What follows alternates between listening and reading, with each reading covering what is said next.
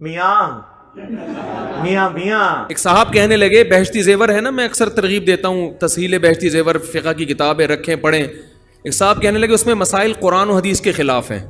अच्छा। पर उन्होंने कहा कि उसमें मसला लिखा हुआ है कि एक आदमी ने शादी की पाकिस्तान में बीवी उसकी अमेरिका में फ़ोन पे निकाह हो गया। वाकई लिखा हुआ है ऐसे। पाकिस्तान अमेरिका की मिसाल नहीं है लेकिन बहुत डिस्टेंस पे हैं कि उनका आपस में मिलना मुमकिन ही नहीं है। एक साल के बाद बच्चा पैदा हो गया तो बहश्ती जेवर में लिखा है कि ये बच्चा बाप का कहलाएगा। ये नाजायज बच्चा बोलो नहीं कहलाएगा। ये क्या तमाशा लगा रखा है तूने? कहने लगे ये क्या है?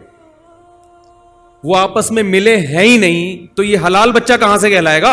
आपके सारे मुश्तरका देवबंद और बरेलवियों के बुज़ुर्ग बाबे के सारी कहानियाँ लिख के गए अपनी किताबों में। नहीं यारी बात समझ। नहीं। और यकीन फिका की किताबों में लिखा हुआ है ये सब किताबों में ये लिखा हुआ है। देख लें बुज़ुर्गों की तालीमत कैसी हैं कि लोग तो अपनी औलाद की करतूत की वजह से मुँह छुपाते फिरते हैं। जी। और ये अपने बुज़ुर्गों के करतूतों की वजह से मुँह छुपाते फिर रहे हैं। देख लेना यार की लिख के गए रे यार।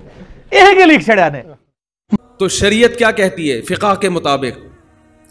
ये बाप कौन है? इस बच्चे का बाप है। इसको नाजायज कहने की आपको इजाज़त बोलते क्यों नहीं? रुको जरा सबर करो। तो चारों फिका क्या कहते हैं कि बच्चा क्या कहलाएगा? हलाल। इसको आप जानी बोलो नहीं कह सकते। वो एक कराची वाला मुफ्ती कहता है कुछ भी कुछ भी। अकली लिहाज से मिलना नामुमकिन भी हो फिर भी फुकहा कहते हैं ये तावील की जाएगी। हो सकता है करामत के तौर पे मिल गए हों। जैसे सुलेमान सलाम के दौर में वो बुज़ुर्ग सेकंडों के अंदर तखत उठा के ले आए थे ना? तो ऐन मुमकिन है कोई जिन सेकंडों के अंदर इसको वहाँ ले गया हो। मियाँ मैंने कहा नो! यार मेरे मेरी तबीयत इस तरह की है ही नहीं है कि मैं इस तरह की गंदी बातों को डिस्कस करूँ। क्या फकी वाला जवाब दू? फकी वाला जवाब फिर मैंने दिया तो फिर आपको बुरा लगेगा। तो इसलिए मैं बस एक ही जुमला बोलता हूँ कि मुफ्ती साहब ने जो ये फरमाया ना कि ये करामत हो सकती है तो मुझे लगता है कि उलमा देवबंद जो है ना, वो इसी करामत की पैदावार है।